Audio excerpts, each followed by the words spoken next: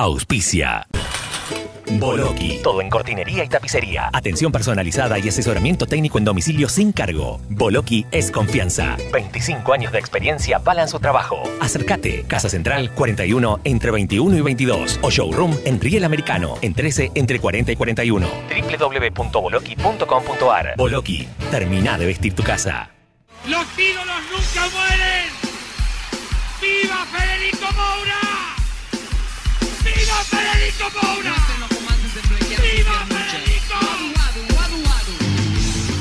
Vamos a saludar a Sergio Cucho Constantino, el realizador de Imágenes Paganas, la película sobre la vida de Federico Moura. Gracias por esperarnos y muy buenos días, Sergio. ¿Cómo estás? Buenos días, ¿cómo andan?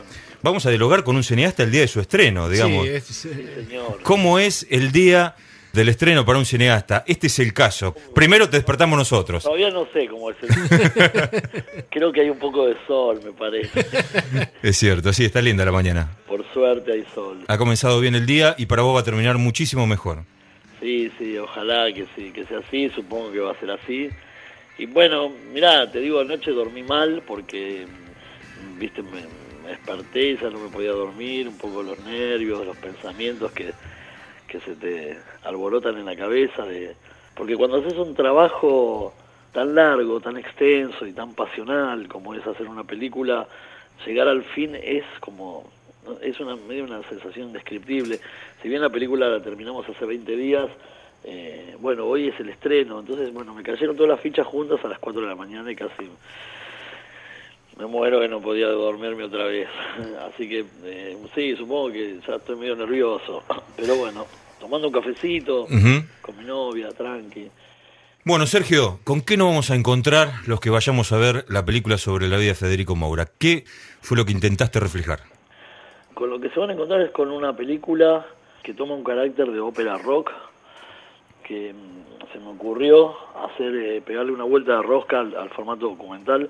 De Federico ya se han hecho varios documentales para televisión, bastante bien hechos, algunos mejores que otros, pero eh, para pegarle una vuelta de rosca a, a esta cosa dura, el documental de gente hablando, se me ocurrió poner una ficción en el medio de una chica adolescente, que en este caso lo, interpreta Paloma Quipes, que un poco refleja algo que, que nos podía llegar a pasar y que pasaba, no particularmente a mí, pero que le ha pasado a mucha gente en los años 80, de ir descubriendo, nosotros cuando aparece el, grupo virus empezaba la democracia, entonces fue como una ebullición de, de culturas nuevas que aparecieron, de músicas, de literaturas, de teatros, y, y- y también tenía mucho que ver con una libera- liberación personal.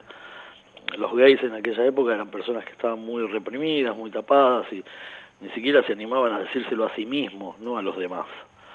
Entonces esta chica va fluyendo con las canciones y es una historia paralela, es una segunda lectura que tiene la película, que me parece del lado estético de un film, me parece que es interesante de ver eh, de una manera muy metafórica y pictórica, si se quiere, porque no es explícito.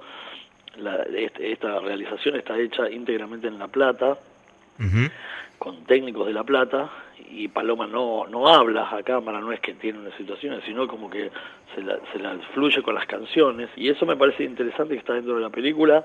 Después, bueno, queda a gusto del espectador.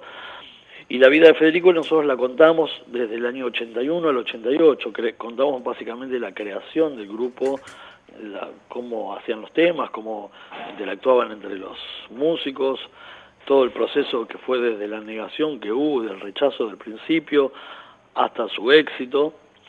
Eh, bueno, y tiene mucho archivo y mucha cuestión estética, como proponía Federico, me parece que, que ese también fue otro de las, de las metas a lograr, de hacer una película muy estética, respetando esta imagen. Entonces, tiene una mirada muy personal la película sobre lo que yo veo y vi de Federico, no meternos en, en- en su persona, porque él se ocupó de mantener su personalidad, su, su, sus Su vida privada.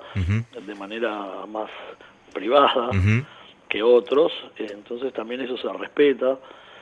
Bueno, es una película musical, por eso también digo que es una- un documental en ópera rock. Eh, mucha música, básicamente. Cuando introducimos esta entrevista con vos, esta charla, eh, escuchábamos parte de, lo que es el tráiler de la película con audios extraídos de ahí y escuchábamos el testimonio de Federico Moura. Eso va a ser interesante porque hay mucha gente que no le conoce la voz en una entrevista a Federico, tan solo a través de las canciones. Recordamos, Federico ha fallecido hace ya 25 años y es interesante poder tener, eh, digamos, este, la posibilidad de conocer el pensamiento del artista. Sí, Sí, Federico es eh, dentro de la búsqueda de archivo que tuvimos eh, fue, el más difícil de encontrar claro. de él.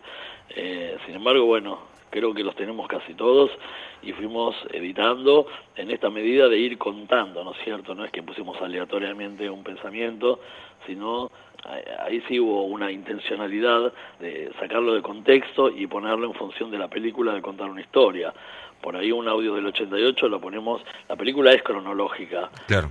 Entonces sacamos, bueno, eso lo van a tener que ver, es todo un trabajo, ¿viste? Hacer una película, un documental, es como construir un edificio. ¿Te resultó más fácil trabajar en este caso que en la vez anterior? Porque recordamos también fuiste el director de Buen Día a Día, documental sobre la vida de Miguel Abuelo, que también tiene un repaso cronológico. Yo no recuerdo si en, en el caso de Miguel Abuelo incluiste una ficción como en este caso.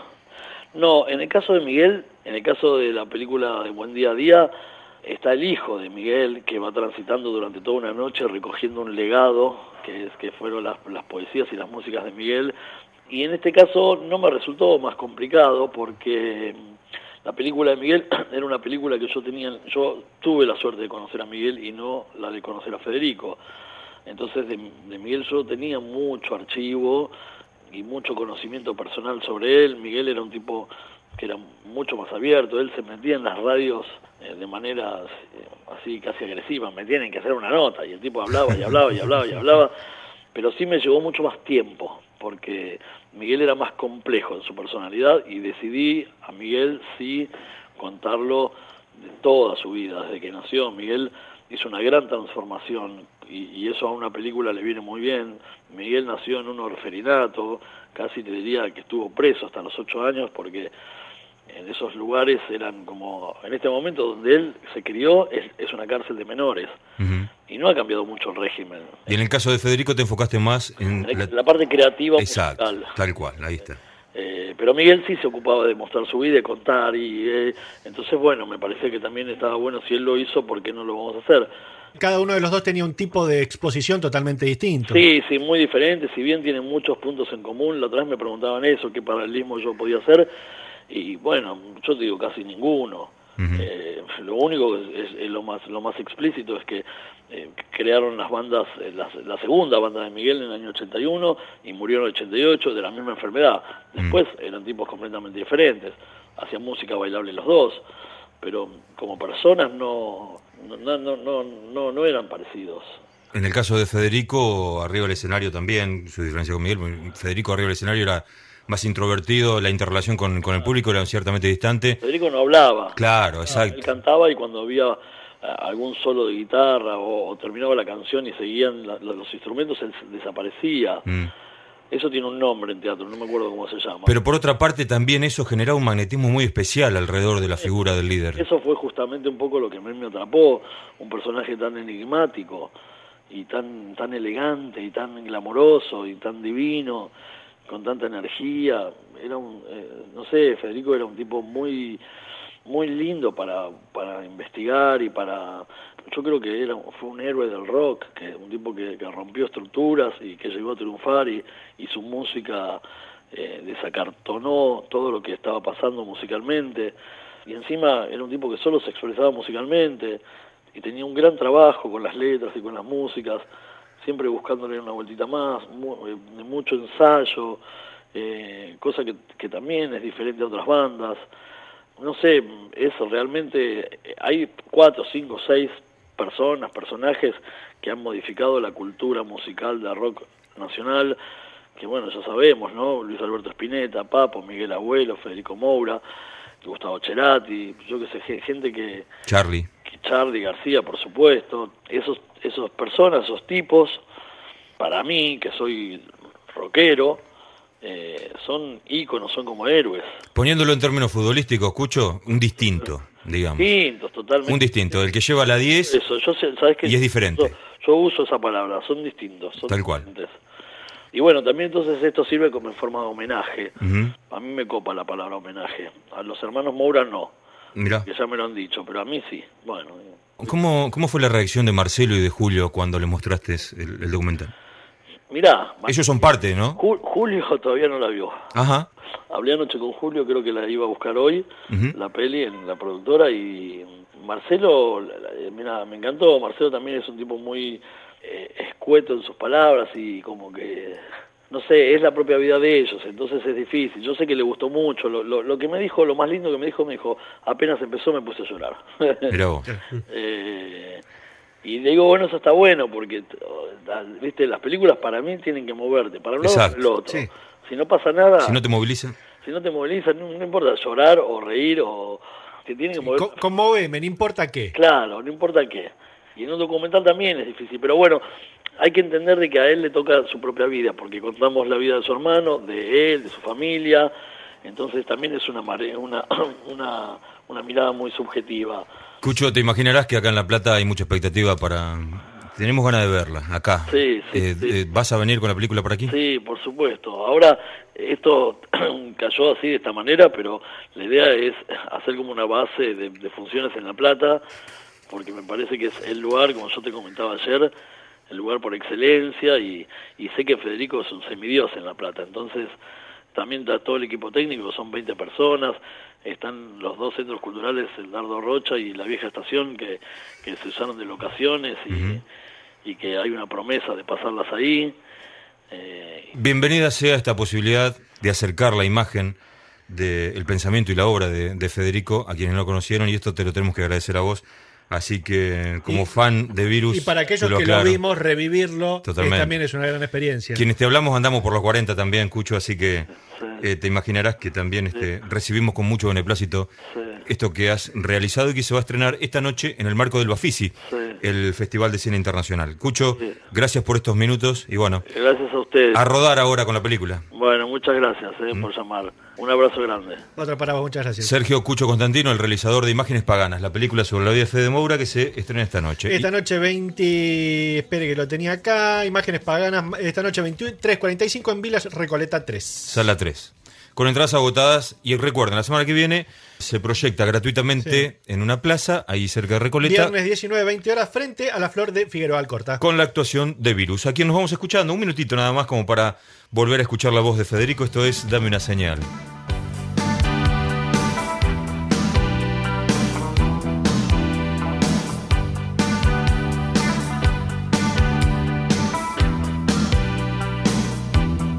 Vuelvo siempre a caminar,